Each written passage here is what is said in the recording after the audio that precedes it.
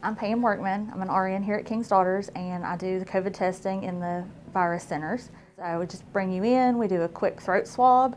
Um, it's just like a swab for strep. We just uh, swab the tonsil area with Q-tip, uh, send that to the lab. And your test results, uh, there's a turnaround time of about 12 to 24 hours. Um, test results are available through medical records or through your MyChart account. At our testing sites, we do not do the nasal swabs. Um, the accuracy is the same with the nasal swab and the throat swab. Well, throat swab is much more comfortable for the patient, so we've chosen to, to do that method of testing here.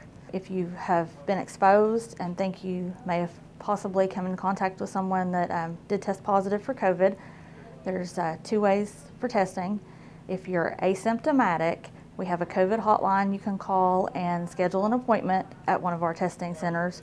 Um, if you are having symptoms of COVID, we do bring you in to see a provider.